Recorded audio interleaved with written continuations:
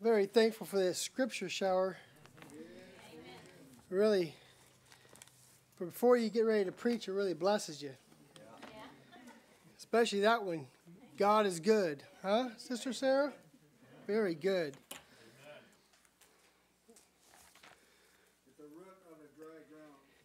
Praise the Lord. So we're here in Romans 2:23, just as Sister Sydney read to you. Thou that makest the law, boast in the law, thou breaking the, the law, dishonorest thou God. See that? This is the way flesh is. Flesh will never boast in God. If you allow flesh to have its way, it will not take you down the road to boast to God. That's the only road that leads to eternal life.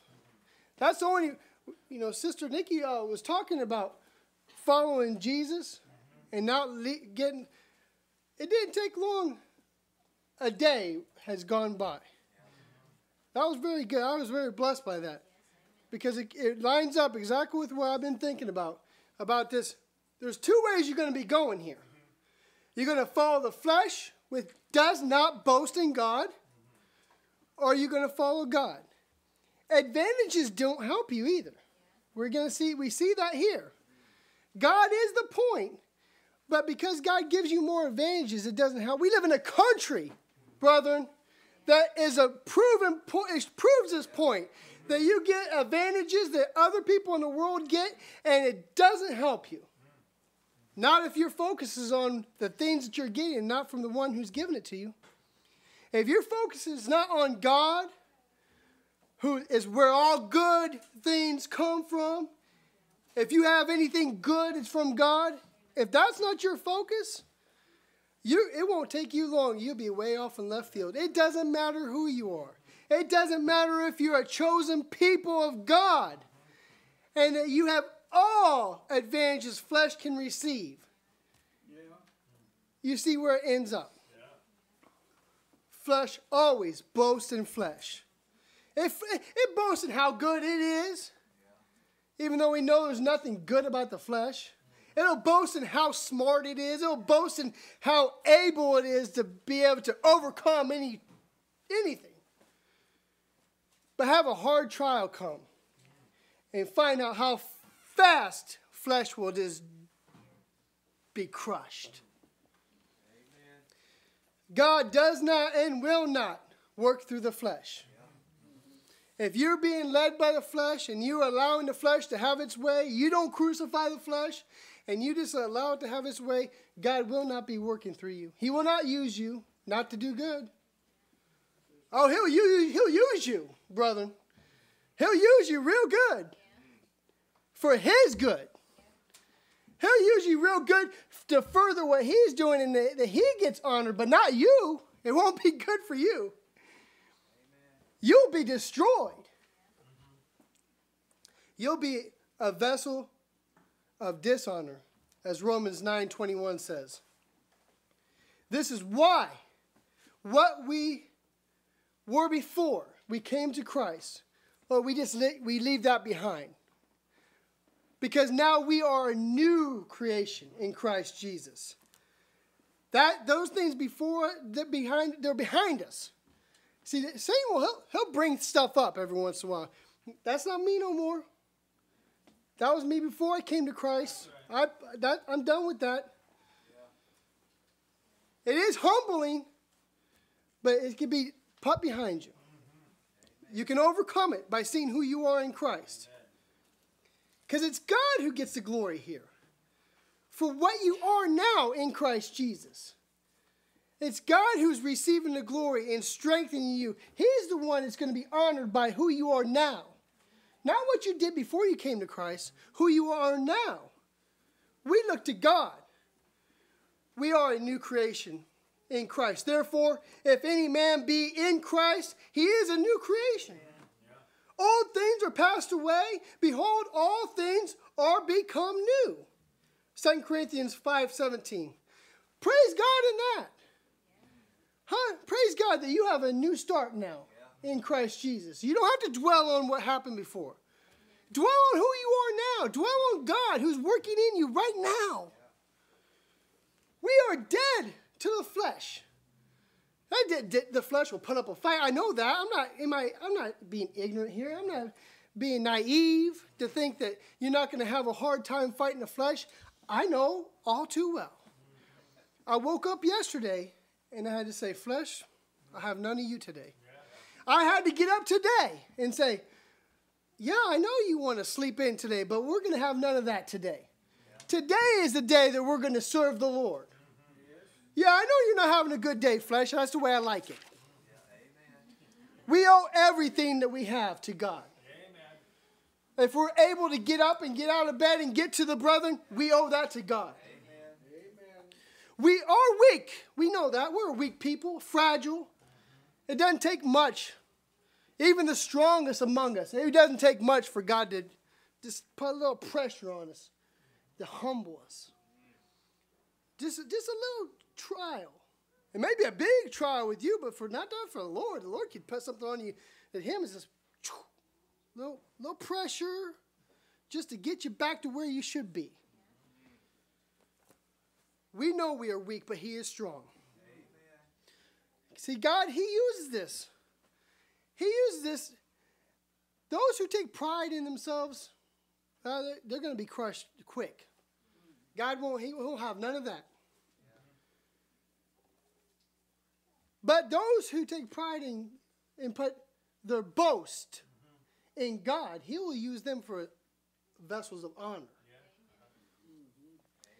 Everything we boast in, it's in God. Our strength is in Christ Jesus. This is why we have hard trials sometimes, brother. We can look to God and see this. This is why we have hard trials. We can see that they are designed to humble us and keep us right where He wants us to be. We don't, do we want to be prideful and crushed by God? No, we don't. We don't. We don't. We want to be right where God wants us to be. And He'll use a trial to kind of snap us out of a little haze. Every once in a while, a little haze might come over, and the world just kind of coming over you, and you're really not seeing things clearly. A trial will snap you out of it. And you can see, well, I can see God clear now. I see. Yeah. I was starting to get a little bit uppity here thinking I was somebody. and that trial just snapped me out of it. Thank you, Lord. Thank you, Lord. He'll just he'll just humble us just enough. Not enough. He won't crush us. See, there's some who's going to be crushed. Some who's gone past that point. He's already humbled them, humbled them, humbled them, humbled them, and he passed the line. We don't know where that line is, and we don't want to get close to it. But the humble, they'll see God in every circumstance. They'll see that God is working. They'll see that as His hand is on it. See, see those who are prideful, they'll say things like, "Why did God do this to me?" See, the, those who are humbled by it will say, Thank you, Lord, for not crushing me. Yes, Thank you for keeping me. Thank you for keeping me for you, Lord. So we see the trial for what it's designed for. It's designed to crush the flesh. Mm-hmm. Yeah, bring that flesh down, crush it. But this, but see, he's preserving his people in the trial. While the flesh is being crushed, he's preserving his people. Our life is one big trial. Brother, we're, we're in a trial right now. Are you going to successfully come out of it for the Lord, boasting in God?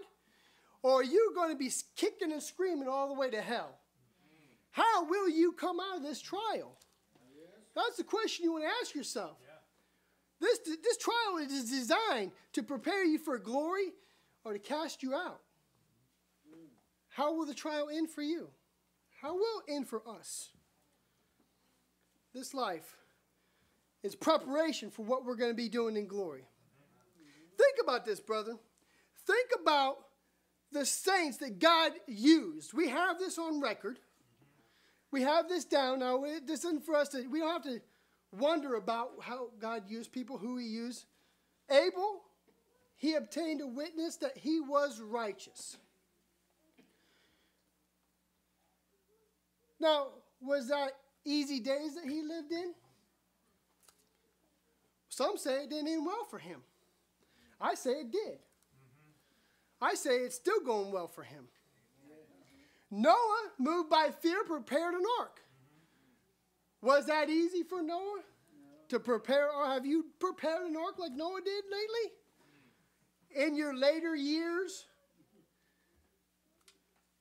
Isaac and Jacob dwelled in tabernacles. They looked actively for which hath found which hath found which hath foundations, whose builder and maker is God. Yeah. See, they are boasting in God. Right. Not not in not in circumstances, but in God.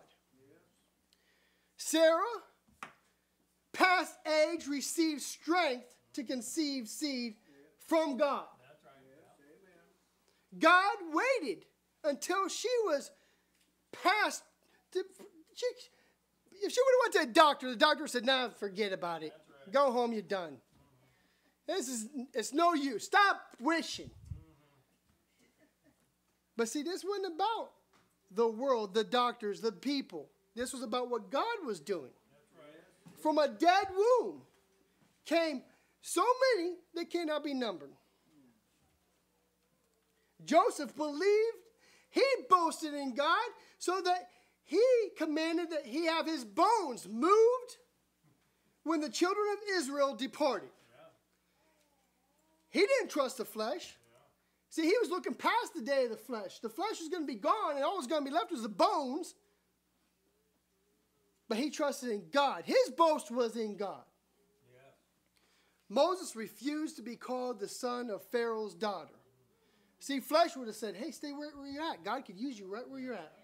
Look at all these things that we could use to benefit God's people. Hey, hey, you could you could go and, and make sure it's a little cushy for God's people, you know? Stay where you are. Look at the benefit you have.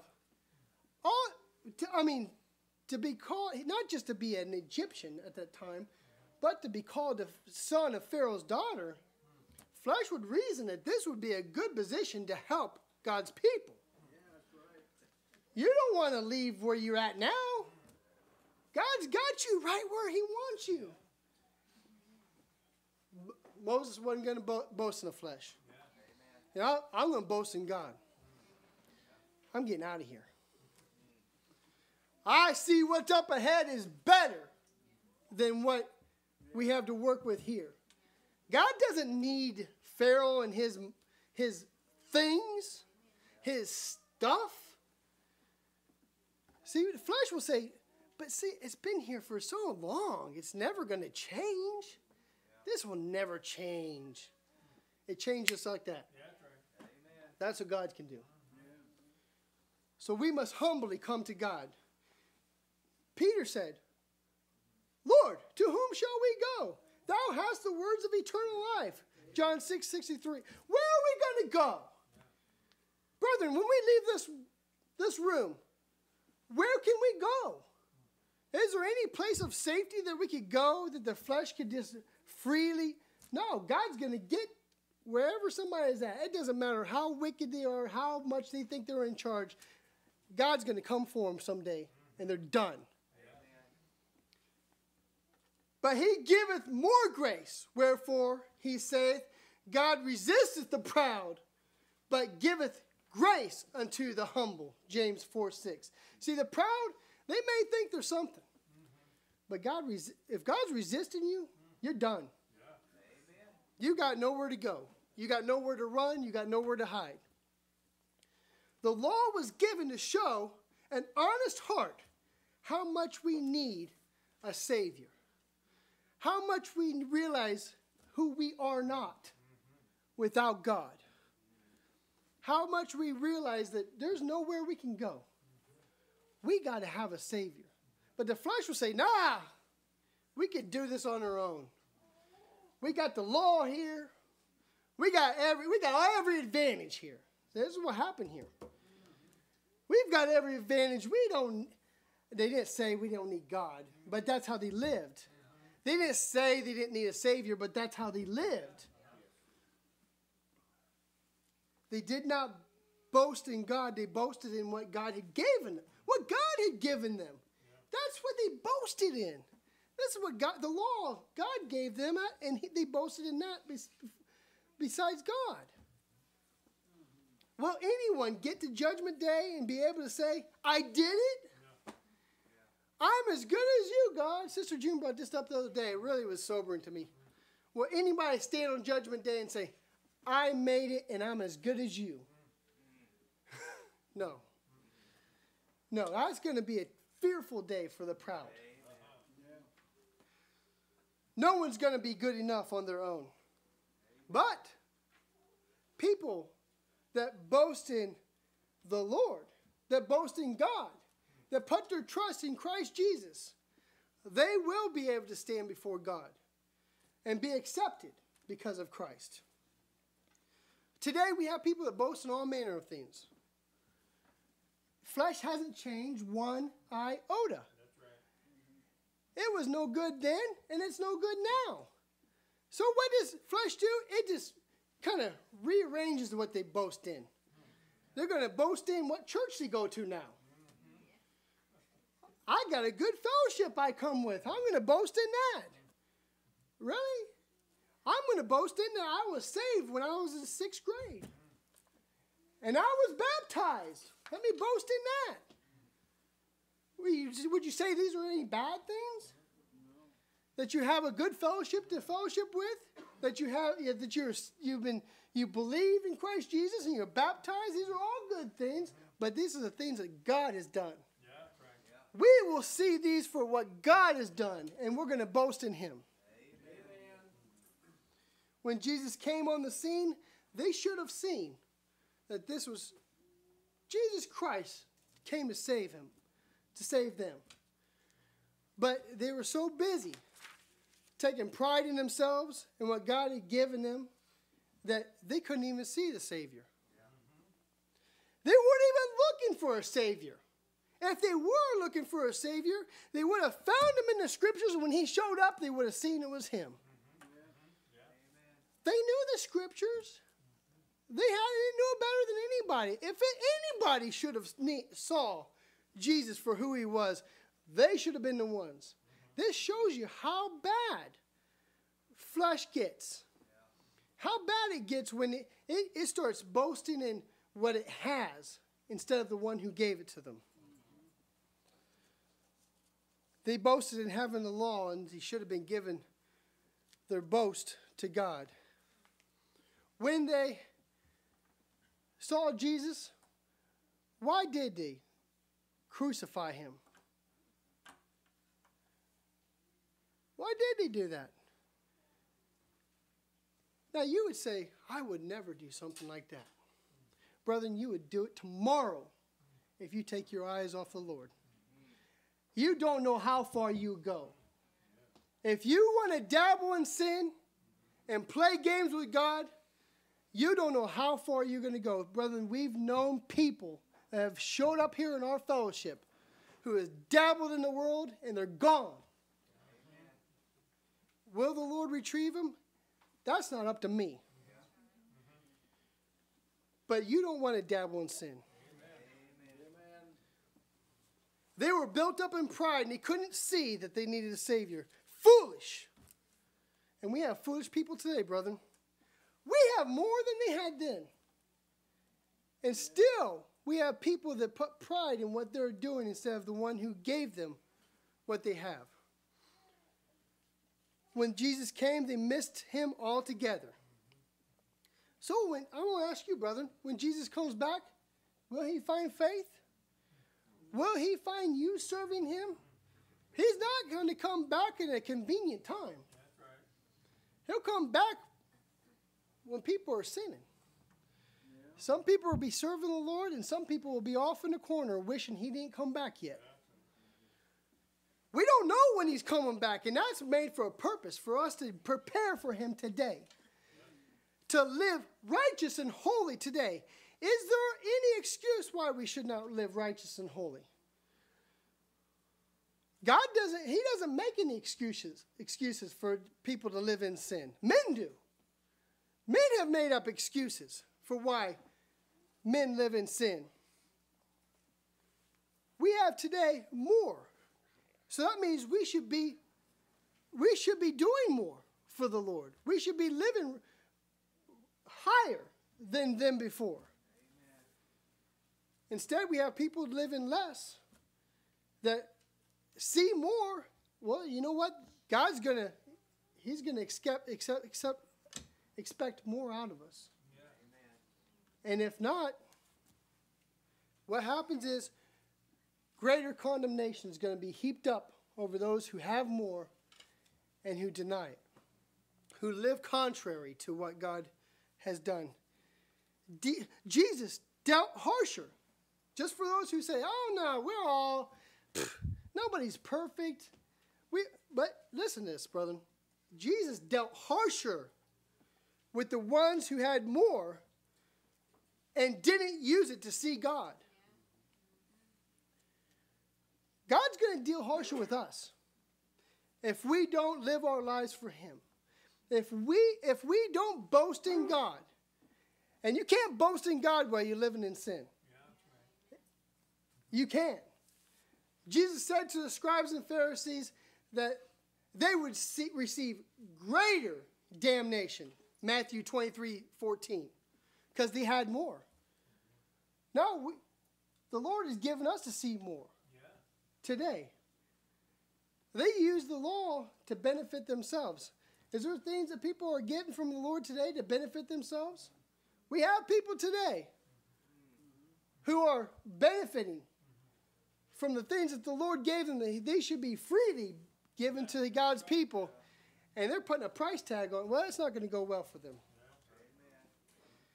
They did not love and obey the law because they weren't boasting in God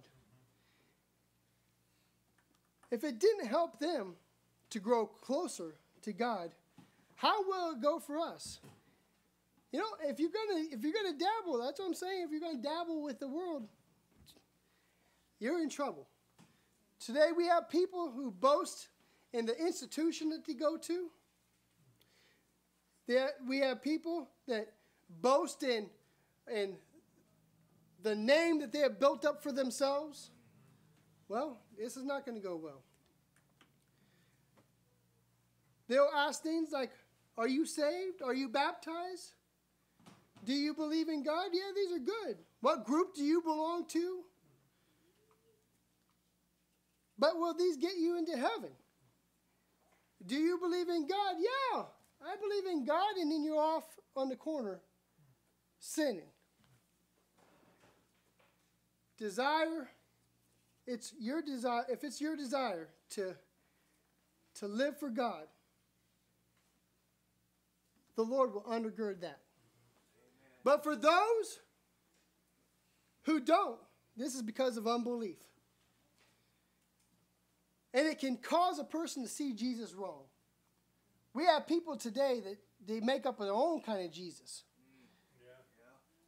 They, they, have, they talk about Jesus, but when you, you watch them, you wonder, what, what are you talking about? That's not the Jesus I read about. That's because yeah, flesh is so evil and wicked, it'll make up its own Jesus. Flesh loves to build itself up. Flesh loves to work in an arena where men will build it up and strengthen it. And that, that's what flesh seeks and goes after. The flesh does not look for God. We want to seek God. They miss Jesus. We don't want to miss Jesus. Amen. Just having the law did not help them with eternal life. Flesh will cause you to miss Jesus. Just because you meet every Sunday with a group of serious Christians and you live an unholy life, Believe me, brother, God, that doesn't go well with God. You come together with people who speak the truth and then you go off doing your own thing. You're in trouble. You must live a righteous and holy life. If God will use you, He will use you. But if you want to, Him to use you for good, that's going to benefit you, you better be working for the Lord and living a righteous and holy life. God will receive you for this, He will help you for this. If you hear my voice today, if you're listening to me today, it's not too late for you. If you've, if you've gone so far, but you're still able to hear my voice, that means whatever you're doing is not pleasing to God, stop it. Stop what you're doing and live and boast in the Lord. No matter what your age is, how long, repent today. Today and live for God. God will not cast out a people that boast in him. So I say, live for him, brethren. No matter who you are or what your, con- your connections are, if you boast in anything but God, you will not be accepted. But, there's a but there, but if you live your life righteous and holy for God, you deny the flesh, and you live for Him, you will be accepted in Christ Jesus. Who doesn't boast in God, all will be cast into a furnace of fire. There will be wailing and gnashing of teeth. Matthew 13 42. You know, this is not just a scare tactic. It's not just a scare tactic for people to live a good life here. The Lord is warning us because we have a good God. He's warning us that this will happen. It doesn't matter what Dr. Men make up to say, no, you're fine. Just say these few little words and just go on your way and continue your life just the way you did before, and God will accept you. See, this is this is not from God. We have plenty in here in the scriptures to show that this is not from Him. We are to live a holy, righteous lives before the Lord because He's given us the grace to do this. And if we do, God will honor us, honor our intentions, and we'll be honoring for God by living for Him, denying the flesh, and that we will be able to live and die and enter into glory to give honor to God. It always baffled me how people would say that they were born again believers, but they lived ungodly lives. Every even from the time I became a, a first time I became a believer, I didn't know a lot, but I knew this doesn't this wasn't right. How could people say this? Because you cannot put your focus on something else and go for a long period of time living a righteous and holy life. If you want to live a righteous and holy life, your focus has to be wholly on the Lord. You can't take your eyes off of Him. You can't put your eyes on yourself and say, hey, I've been doing pretty good. I see that I've been really doing good. That's when you're going to fall. But if you keep your eyes on Him, you will stay strong and continue. Not like a roller coaster, but a straight way to heaven. You keep it because the Lord, He does this. He doesn't have a people that's up and down and over here one day and over there. He has a people that's got their eyes focused on glory. A people that are strong and built up because he, this is the way the Lord is. He, he's constant. He doesn't change. He wasn't, he wasn't one way in the Old Testament and uh, Old Testament and another way in the New Testament. He hasn't changed one bit. Amen. He's changing us. God has given us grace to not sin. For the law was given by Moses, but grace and truth came by Jesus Christ. John 1:17. You can't continue with Jesus and sin. It's not possible. If you are, if you tell me you're walking with Jesus and I'm watching you live an ungodly life, I'm telling you you're not. I'm telling you you've got your focus someplace else. You may have started off well, but you left Jesus behind somewhere. And you may be working for somebody, but it's not for him. You can't continue with Jesus in sin because Jesus keeps us from sin. When you're with him, you don't want to sin. when you're with Jesus, you will honor God by living a righteous and holy life. This is the this is just what how, this is the effect of being around Jesus. We believe that through the grace of the Lord Jesus Christ, we shall be saved. Acts 15 11. So, brethren, I exhort you to continue to live for Christ, to deny the flesh, see trials for what they are, is to crush the flesh. God's not against us, He's for us. He doesn't want us to fail, He wants us to succeed. He doesn't want us to, He doesn't want to kill. There are some out there who want to kill you, but it's not the Lord. So we fear Him who not only can kill the body, but can also kill the soul and cast it into hell.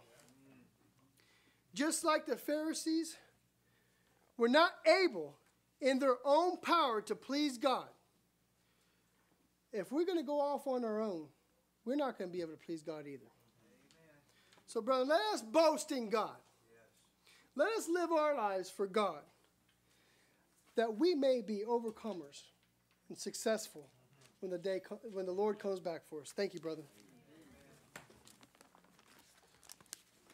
Brother Michael has our exhortation.